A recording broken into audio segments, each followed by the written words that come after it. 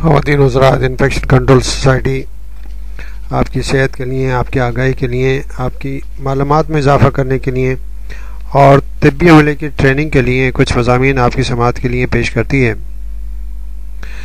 Mid wife की महारतों के बारे में कुछ बताना चाहेंगे। मिड वाइफ न सिर्फ़ अपने इकदाम की ज़िम्मेदारी लेती है, बल्कि दूसरों के साथ देखभाल में भी शरीक हो सकती है। और इस काबिल होती है कि कई पेशावर माहरीन पर मुश्तमिल टीम में काम कर सके। ये नई बात के खबर रखना, हर नई बात की खबर रखना उसकी प्रैक्टिस का लाजमी पहलू है। इसे कानून के अंदर रहते हुए अपने पेशे से मुतल फ़रज़ अंजाम देने चाहिए। देखभाल से मुतल फ़ैसलों में उसके दानशमंदाना निगाह की ज़रूरत है, जिसमें अखलाकी असूलों को भी मद्दर नज़र रखा जाता है। तंदुरुस्ती का फ़रोग। मिडवाइफ के लिए इस बात का बेहतरीन मौका होता है कि वो बच्चे की पैदाइश से पहले और उसके बाद वालदेन को बहुत सी बातें सिखाकर, ख़ानदानों को सेहतमंद ज़िंदगी के उसूलें समझाकर, सेहत की देखभाल के बारे में जो मशवरे दिए जाएँ, उनमें वालदेन के समाजी पस मंज़र सियासी आगाही, तहजीबी सूझबूझ को सामने रखना चाहिए। बाज़ बाज़ वालदेन की मादी ज़ुबान मिड वाइफ से मुख्तलिफ़ हो सकती है। साथ काम करने वाले कारकुनों और तर्जमा करने वालों से इस खला को पूरा किया जा सकता है। और वालदेन के एहसास को ठेस पहुँचाए बगैर सेहत की तालीम सबको दी जा सकती है। जितनी ज़्यादा तालीम दी जाएगी, जितनी ज़्यादा सेहत के बारे में मालूम बेहतर तरीके से और साइंटिफिक तरीके से पहुँचाई जाएँगी उतना ही माशरा सेहतमंद होगा। डायग्नोसिस या तशीस सेहत का मतलब सिर्फ़ बीमारी का ना होना और ख़ास तौर पर किसी फ़र्द के नॉर्मल होने का तयन करना नहीं होता। तंदुरुस्ती कोई ऐसा आइडियल नहीं है जिसे हासिल करना मुमकिन न हो। ये कोई ऐसी अहलियत भी नहीं है जिसे सेहतमंदाना तर्ज ज़िंदगी पर अमल करके हासिल किया जाता है। इसका दारो मदार इस तनाजुर, ताल्लुक़ और इस अतमाद पर है। जो कोई फ़र्द अपने जिसम अपने आप पर रखता है या रखती है। मिडवाइफ को इस बात की गहरी समझबूझ होनी चाहिए कि वो जज्बात के क्या असरात होते हैं और किसी फ़र्द के लिए उसकी सूझबूझ और तरजीहत की रोशनी में उसके साथ होने वाले वाक़ात का क्या मतलब है। इस फ़र्द की सूझबूझ और तरजीहत से उसके तजर्बात के मुताबिक होंगी। जिसमानी अवामिल बेशक अहम हैं। लेकिन माँ और बच्चे की तंदुरुस्ती के लिए दूसरे पहलू भी इतनी ही अहमियत रखते हैं। देखभाल का इंतज़ाम। मिडवाइफरी की देखभाल करने वाले, करने और औरत की अपनी देखभाल करने की सलाहियत को मानने के दरमियान तवाज़ुन का नाम है। मिडवाइफ को इस काबिल होना चाहिए कि हमल, यानी प्रेगनेंसी की डायग्नोसिस या तशीस कर सके।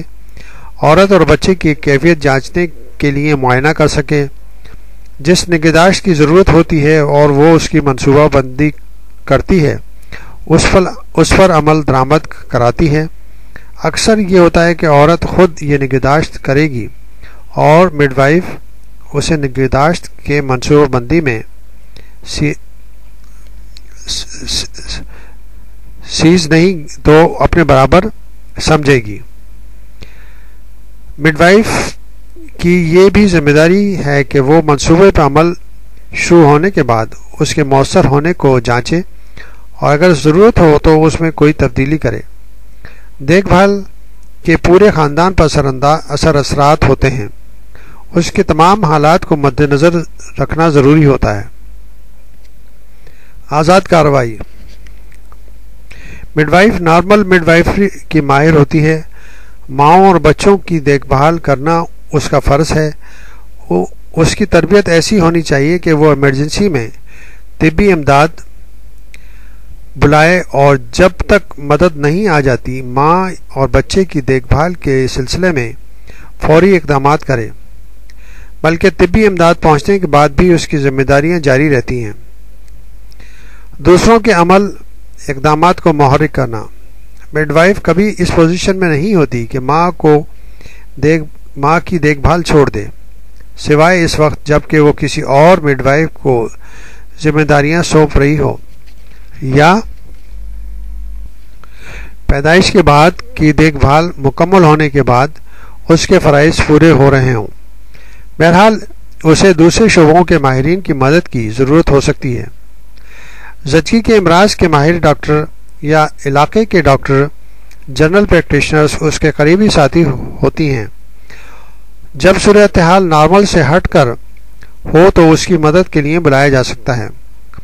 इस तरह, इसी तरह बच्चे की देखभाल के लिए बच्चों के अमराज का डॉक्टर मौजूद होता है।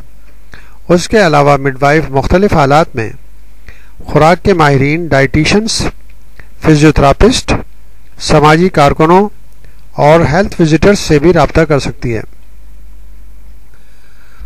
डॉक्टर की तजवीज़ करदा निगहदाश्त करना। किसी रजिस्टर्ड मेडिकल प्रैक्टिशनर्स की तजवीज़ करदा निगहदाश्त और इलाज करना महज हिदायत पर अमल करने से बढ़कर होता है। मिडवाइफ से ये तो की जा सकती है कि वह डॉक्टर का हुक्म समझेगी और ज़रूरी होगा तो उस पर एतराज़ या उसे चैलेंज भी करेगी। ऐसे हालात हो सकते हैं कि वो डॉक्टर पर कोई कदम उठाने पर ज़ोर दे या मोहतात रहने को कहे। जब मिडवाइफ ने डॉक्टर को बुलाया, हो तो मसले से निमटने की ज़िम्मेदारी डॉक्टर की बनती है और मिडवाइफ को उसके तिब्बी अहकाम मानने चाहिए। लेकिन डॉक्टर्स के आने के बाद भी मिडवाइफ का माँ और बच्चे की देखभाल करने का फ़र्ज़ बरकरार रहता है। इबलाग और रबते इबलाग या इबलाग या कम्युनिकेशन का मतलब यह है कि आप अपनी बात दूसरों को बासनी समझा सकें और दूसरों की बात अच्छी तरह समझ सकें। इसके साथ साथ तमाम मुतल हलकों में आपके ताल्लुकात और रबते मौजूद हों। मिडवाइफ के बच्चा जन्म देने वाली औरतों, अपने साथियों और दूसरे शोबों के कारकुनों के साथ मौसर ताल्लुकात होते हैं। ये ताल्लुकात इस तरह होते हैं कि मिडवाइफ अपनी ख्वाहिशात ख्याल बिला झिझक ज़ाहिर कर सकें और दूसरे भी खुलकर इस इनसे बात कर सकें। बाज़ अवत ये ज़रूरत होती है कि वह अपने ख्याल एक तरफ़ रख कर माँ या किसी कारकुन की बात सुनी जाए, ताकि मुख्तलफ नुक़ नज़र को समझा जा सके और इस बात को कबूल किया जाए कि दूसरे फ़र्द को मुख्तलफ फ़ैसला करने का हक हासिल है। सुनने की अच्छी सलाहियत एक अहम खूबी है। अगर औरत को सही तौर पर अखलाकी सहारा दिया जाए तो वह आज़ादी से अपने ख्याल का इजहार कर सकेगी। बाज़ हालात में यह भी ज़रूरी हो सकता है कि मिड वाइफ खुद अपने नुक़ नज़र का इजहार करे और उसके वाज वजूहत बयान करे। तहकीक से आगाही। जो जो मिडवाइफरी के बारे में तहकीक आगे बढ़ रही है अच्छी और अहल अहल मिडवाइफों के लिए ज़रूरी, ज़्यादा से ज़्यादा ज़रूरी होता जा रहा है कि वो अपनी नई बातों से इन तमाम नई बातों से आगा रहें जो तहकीक के ज़रिए सामने आई हैं। और अपनी प्रैक्टिस में भी सवाल उठाने और गौर करने वाला रवैया अपनाएँ। इस बारे में अब बहुत लिटरेचर दस्याब है और मिडवाइफ बड़ी तादाद में इस्तफादा हासिल कर रही हैं। इन्फेक्शन कंट्रोल सोसाइटी की साइट सेहत डॉट कॉम पर हर कस्म की मालूम हर कस्म के मजामी मौजूद हैं, जिनसे इस्तफादा हासिल करके मिडवाइफ खातन की हेल्प कर सकती हैं। ख़ास तौर पर डायबिटीज़ ब्लड प्रेशर और सेहत के असूलों के हवाले से मज़ीद मालूम तरह तरह की मालूम शेयर डॉट कॉम पर दी जा चुकी हैं, जिनसे फ़ायदा उठाकर मिडवाइफ अपनी तिब्बी मालूम बेहतर कर सकती हैं और खातन को बेहतर मशवरे दे सकती हैं। शवाहिद पर मबनी प्रैक्टिस अब तहकीक पर मबनी प्रैक्टिस की जगह शवाहिद पर मबनी प्रैक्टिस की असलाह का रवाज आम हो रहा है। मिडवाइफ की ज़िम्मेदारी है कि वह अपनी प्रैक्टिस में उन वसाइल का इस्तेमाल करे जिनमें माँ और बच्चे की, को मौसर देखभाल के तरीके बताए गए हैं। यह तस्लीम किया जाता है कि बाद शोबों में अभी तक भरपूर तहकीक नहीं हुई और इनके बारे में शवाद दस्तियाब नहीं है। मिडवाइफ की हमेशा ये ज़िम्मेदारी रहती है कि वो अपने ज़ाती मुशाहे और तजर्बे से तबी शवाद का जायज़ा ले और मवाजना करे। नेज़ माँ की तरजीहत को भी नज़रअंदाज नहीं करना चाहिए। टीम के रुकन। आज़ाद प्रैक्टिशनर होने के साथ साथ मिडवाइफ दूसरे पेशेवर अफराद की टीम का हिस्सा भी हो सकती है, जो माँ और बच्चे और उनके ख़ानदान के दूसरे अफराद की देखभाल के लिए मौजूद होती हैं। मिडवाइफ को अपने साथियों के फ़राइज समझने की कोशिश करनी चाहिए और उनके साथ हम आहंगी पैदा करनी चाहिए। अखलाकी मसाइल। नर्सों हेल्थ विजिटरों की तरह मिडवाइफ भी बाज़ अखलाकी जवाबित की पाबंद हैं। उनमें औरतों के मामला को राज में रखना अपनी पेशेवराना अहलियत को बरकरार रखना और बढ़ाना उस अंदाज में काम करना शामिल है जहाँ वो महसूस कर, महसूस करें कि वो आज़ाद हैं। उनका एहतराम किया जाना जाता है। मिडवाइफ के लिए लाजिम है कि वह ऐसे हालात में मुत, से मुतला करे जिनमें उन उसके काम का मैार में फ़र्क आ रहा हो या औरतें या साथियों की मुनासिब देखभाल या सेहत खतरे में पड़ रही हो। मिडवाइफ को ऐसी सूरत हाल से भी सबका पड़ सकता है, जिसमें उसकी अपनी अखलाकी कदरों को चैलेंज किया जा रहा हो। और अपने वालदेन को ऐसे फैसलों से, और उसे वालदेन को ऐसे फैसलों में मदद करनी पड़े, जिनका ताल्लुक अखलाकियात से हो।